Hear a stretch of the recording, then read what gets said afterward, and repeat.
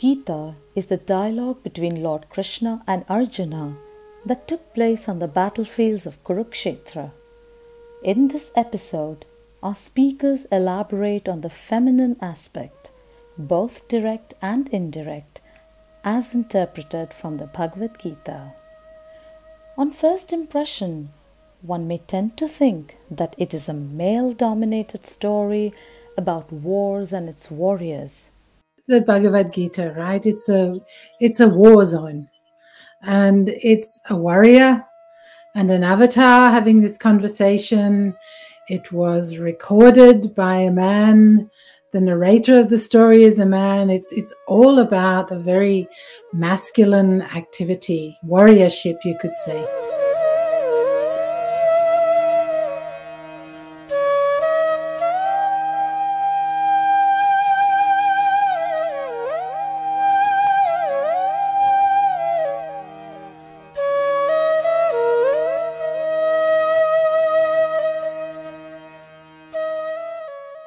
First read the Gita when I was about 15. And I remember thinking, oh my God, you know, this is meant to be spirituality. And it's all about war and fighting and killing your relatives and all that stuff. It didn't make any sense to me in the beginning. It's after years of practice that I've started to understand its validity. And, and remember, too, that the Bhagavad Gita is just one part of the whole story of the Mahabharata War. It's just the part where Arjun is floundering on the battlefield. He's, you know, Krishna has put the five Pandava brothers in the forefront to fight this war against the Kauravas. The Kauravas have chosen all the weapons of war. The Pandavas have chosen Lord Krishna. And so suddenly here Arjun is, he's meant to lead his brothers into battle with the small troops that they have. And he's terrified and also very, very worried. He's worried because he's got to fight his relatives. His enemies are his relatives. His guru, his guru Drona is there. And so he suddenly got this incredibly important ethical dilemma. What do I do now? Also, remember that this is an allegory, a symbol for our inner state. The so called goodies and baddies right and wrong, the dualities of existence are within us. It's the divine within us, Lord Krishna, and it's the human acting person within us, Arjun, which is there whether you're male or female. And they're having this dialogue about how to how to proceed in the world. The Gita cannot be taken literally. If you take it literally, then you'll say there are no women characters. You'll say there is a war is it encouraging? So that's not how. Everything in India has symbols, symbolism, metaphors, and it's up to us to look at the interpretation and learn it.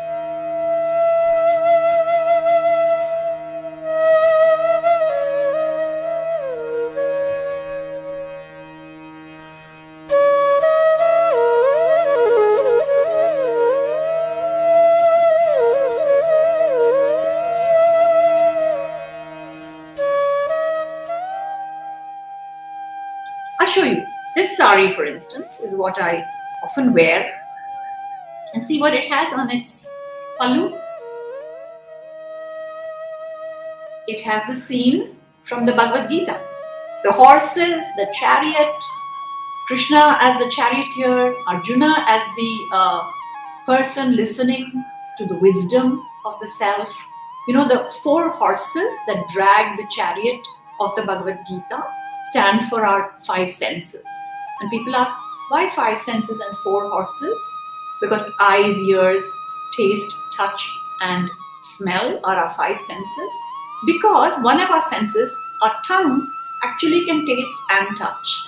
So, in infinite wisdom, the chariot of the Bhagavad Gita has only four senses, and we need to control them.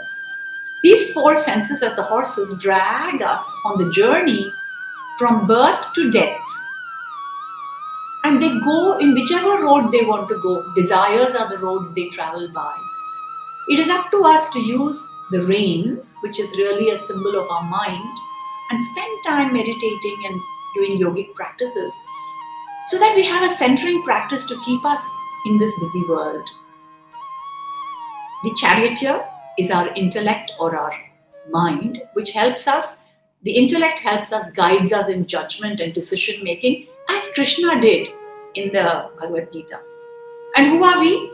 We are not the chariot. The chariot is our body. Who are we? We are the self, the Lord inside the chariot, happily going for the ride. And there's no need for us to get sorrowful or depressed or angry or fearful, because that's not our real nature at all. And I just love this beautiful metaphor of the chariot, and I often use it in meditation.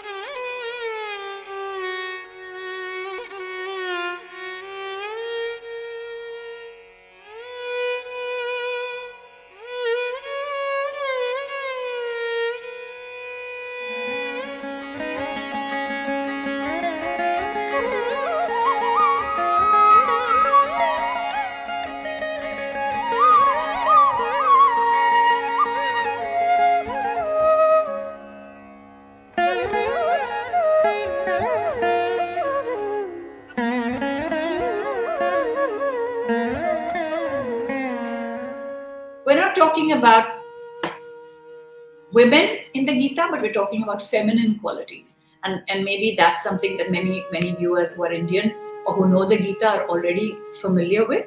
Um, you know, the phrase from, I think, chapter 10, verse 34, where it says, Kirti Shri Vakchanari Nam Kshama. These are the feminine qualities. Kirti is fame, Shri is beauty, perfect speech, memory, intelligence, loyalty, and forgiveness. They call these seven um, values as feminine qualities in the Gita. So, this is applicable to all human beings, right? We can pick up these feminine qualities and develop them among ourselves. So, when we say Shri, when, when the words in the Gita talk about Shri as a feminine quality, Shri means beauty. It's not just the beauty outside, which is fine. We should still be putting our little makeup and looking beautiful outside, but it's about the inner radiance. And that's why we have a bindi in India, right? We put on the dot to remember what am I doing about my inner beauty? Because that's the spot for the third eye to look within. These two eyes look at the world. What am I going to look at within? What am I going to do about developing my inner beauty, or radiance that helps me be a solution for so many people's lives? And I could be making tons of profit while doing it. Absolutely fine. You can enjoy the material world, but do it with calmness and inner beauty.